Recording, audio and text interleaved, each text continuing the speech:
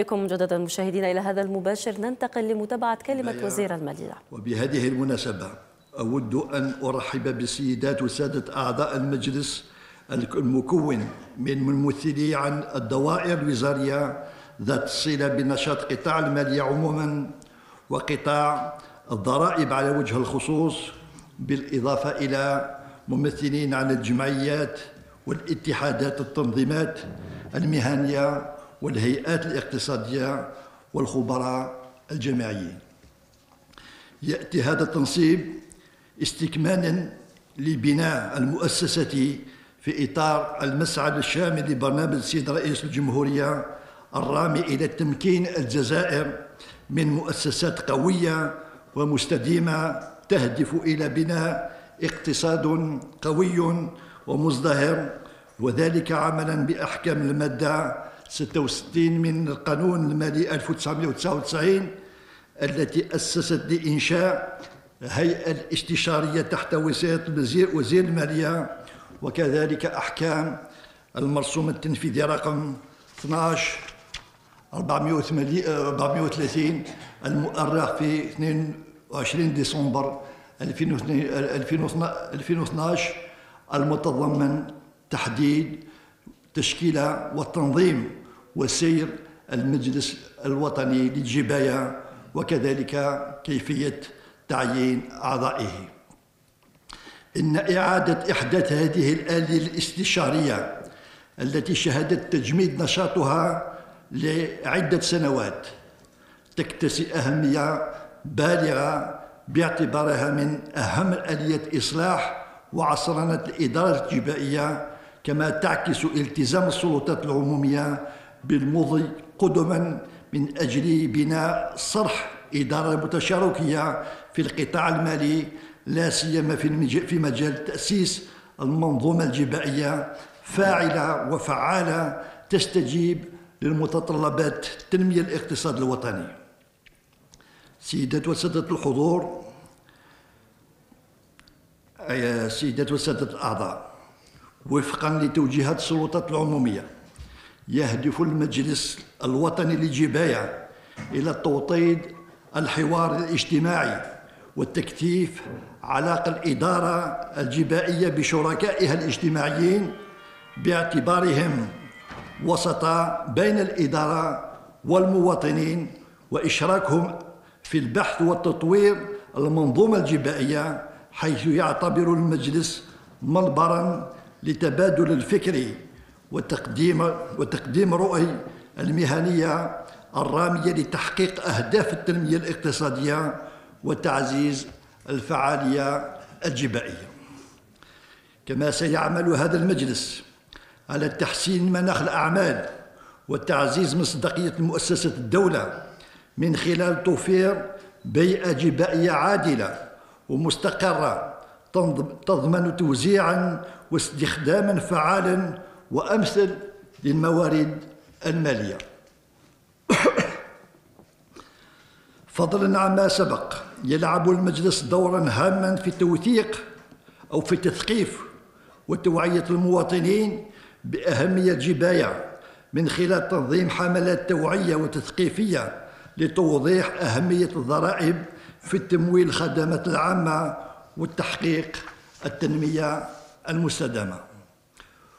ومن هذا المنطلق يبرز دور المجلس الوطني للجباية كونه, كونه هيئة فاعلة تنشط في مجال البحث والدراسة والتحليل وذلك من خلال تكريس خبرات وممارسات أعضائه في تطوير المنظومة الجبائية وكذا العمل.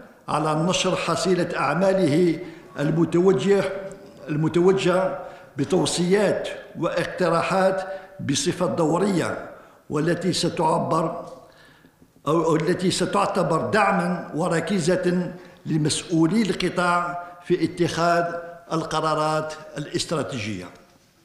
سيدات وسادة الأعضاء أعزائي الحضور يتولى المجلس الوطني للجباية كونه هيئة, هيئة استشارية وبفضل خبرة أعضائه. مهمة تقييم النظام الجبائي واقتراح وإبداء الآراء حول الإجراءات والتدابير الجبائية.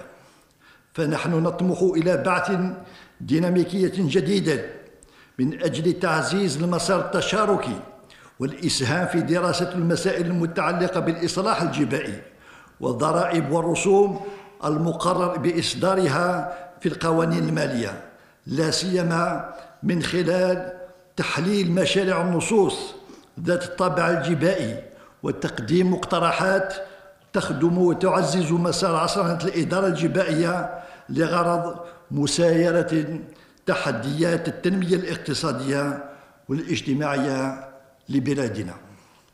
سيدات وسادة الأعضاء أعزائي الحضور إن الإدارة الجبائية اليوم بحاجة من أي وقت مضى إلى تعزيز روح التشاور والحوار وتنمية الحس الجبائي لبناء إدارة عصرية ترقى إلى تطلعات كافة الفاعلين في المجتمع. وعلى هذا الأساس فقد باشرت وزارة المالية من خلال المديرية العامة للضرائب في إنجاز برنامج عصرنة واسعة النطاق يهدف إلى إعادة هيكلة مختلف المصالح من خلال استحداث هيئات عصرية إلى جانب تبسيط وإجراءاتها الإدارية وتحسين نوعية الخدمة المقدمة لا سيما تلك المتعلقة بالخدمات عن البعد. وعليه فإن السلطات العمومية تعمل جاهدة لإضفاء شفافية أكبر في تسيير المال العام عبر جعل المنظومة الجبائية أكثر عدلا وإنصافا وتعزيز آليات المحاربة الغش والتهرب والتهرب الجبائيين فضلا عن الدعم الاستثمار ومرافقة المؤسسات المؤسسات الاقتصادية. ولكي يتسنى لنا مواجهة هذه التحديات لا بد من من التقدير الدور المتوقع للضرائب في تمويل ميزانية الدولة. فقد بات من الضروري من خلال المجلس الوطني للجباية الاهتمام باشتراك مختلف الفاعلين والمتعاملين الاقتصاديين في جميع المشاريع المتعلقة بالسياسات الجبائية والآفاق من خلال إصدار تحليلات وآراء وتوصيات تهدف إلى التحسين وتعزيز مستوى تعبئة الموارد المالية للبلاد. سيدات وسادة الأعضاء أعزائي الحضور إنني لحريص كل الحرص على أن يحظى المجلس الوطني للجباية باستقلالية تامة وبالمصداقية في ممارسة مهامه واتخاذ قراره قراراته وذلك من خلال رفع عدد الأعضاء المشكلة المشكل أو المشكلة له إلى 41 عضو بدلا من 21 عضو في التشكيلة في التشكيلية أو في التشكيلة السابقة. لقد أخطرنا أعضاء اللجنة بعناية وخبراء وباحثين ومتمرسين لبراتيسيان في مجال اختصاصهم كذلك ممثلين عن الجمعيات والاتحادات والتنظيمات المهنية ذوي خبرة عملية حول علاقات الإدارة بالمواطنين والمتعاملين الاقتصاديين. لذلك نحن واثقون من كون القطاع قد يستفيد لا محال. من خبرتهم. كما تجدر الإشارة إلى أنه سيتم انتخاب رئيس للمجلس ونائبه من بينهم. كما أغتنم هذه الفرصة لأتوجه بالخطاب إلى السيدات وسادة الأعضاء لأذكره أو لأذكركم بأن بأننا نعول عليكم جميعا لتقديم مقترحات مناسبة تسمح بتطوير المنظومة الجبائية وأطلب منكم أن تكونوا رهن إشارة لكل الأطراف الفاعلة. ولا ولا تنسوا أننا نعتمد عليكم للوقوف على مكامن الخلل وتحديد سبل الدعم التحصيل الجبائي. أملنا كبير أن يحقق المجلس ما هو منتظر منه. بالتعاون مع الجميع وأدعو إلى تضافر الجهود وإلى التنسيق الفعال لتحقيق ما تصبو إليه بلادنا خدمة إذا نكتفي بهذا القدر.